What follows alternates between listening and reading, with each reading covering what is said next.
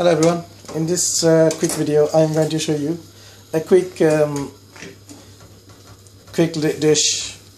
Uh, I kind of like this dish, it's so easy to make and it's so it's quite cheap and easy. All you need is one onion, large onion, chopped and then what you do is squeeze it a bit, squeeze the juice out of the onion, give a really rough squeeze it, really really hard.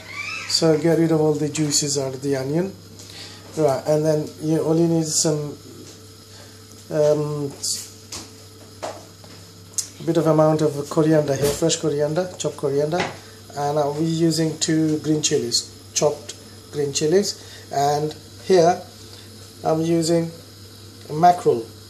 So we're gonna call that as mackerel chutney and you could use it you can use also sardines but here we're using macro, mackerel in sunflower oil. So all, all you need to do is add all the ingredients together and just mix the mackerel and top a bit of salt if you like and and that's it. So let's go and do it.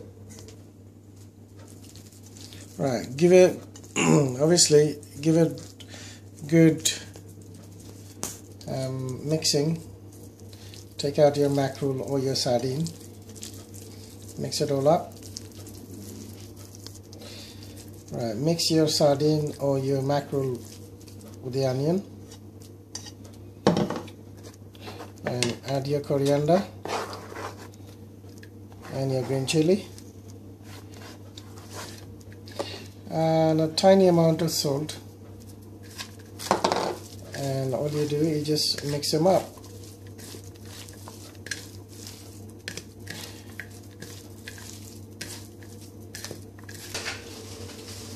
There we are ladies and gentlemen, it's done. Our mackerel chutney is done. So it's so quick and easy to make and it will take you less than 5 minutes to do it. You do not have to put any other oil or anything like this because it's, um, the mackerel contains already uh, sunflower oil in it. But you can use uh, mackerel in tomato sauce or sardine in tomato sauce if you like. There we are.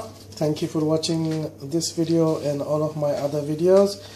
Please go and click my links and check out all my other stuff and the, the description of this video. And once again, thank you so much. Please make sure go through my links if you are purchasing any product from Amazon or eBay. I'll put a link down the bottom for you. Once again, Thank you new for watching.